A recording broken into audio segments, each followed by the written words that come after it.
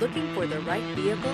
Check out the 2023 F-150. This vehicle is powered by a four-wheel drive, eight-cylinder, 5.0-liter engine. This vehicle has less than 100 miles. Here are some of this vehicle's great options. Power windows with safety reverse, emergency braking preparation, active grille shutters, traction control, stability control, front suspension type, double wishbones, roll stability control, front suspension type, strut, daytime running lights, power brakes. Searching for a dependable vehicle that looks great too?